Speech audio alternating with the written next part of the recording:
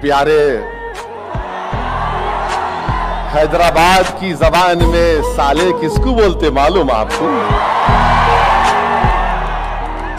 मत बोलो, महँगा पड़ेगा। अगर हम तुम्हारे साले हुए और हमको गोली लगी तो फिर घर में क्या होगा प्यारे?